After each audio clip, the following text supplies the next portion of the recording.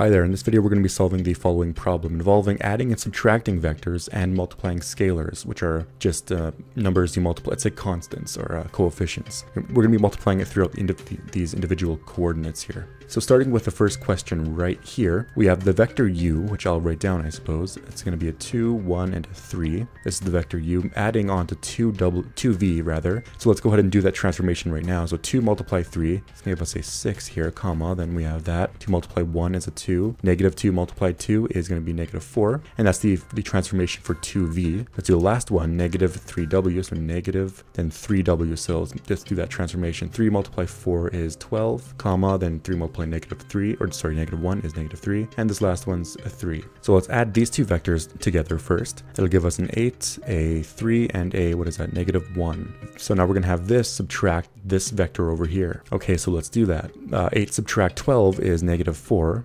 comma. 3 subtract negative 3 is going to be 3 add 3 because the negatives would cancel out. So we have 6 here, positive 6. Negative 1, multiply that. Sorry, negative 1 subtract 3 actually is going to give us negative 4 here. And this is the end answer. This is the resulting vector from this transformation here. So now let's move on to question, I guess in this case it's question n. It's the next question in general. So again, 2u. So let's go ahead and do that calculation. It's going to be 2 multiply that, 4. And I think you're getting the hang of this. It's literally just multiplying it through, then adding or subtracting each individual coordinate. So let's keep let's do this quickly then. So that 6 so this is the first vector there, adding on to 3v, so that's going to give us a 9, a 3, and what is this, a negative 6. And subtract w, so nothing's being done to this one. Great. So let's add these together, that's give us a 13, a 5, and a 0. Subtract this one over here, so 13 subtract 4 is going to give us a 9, comma, we have 5 subtract that, you're adding it on, so it's a 6. 0 subtract 1 is negative 1, and this is the answer for question n, the next one we just did. Let's move on to the last question now.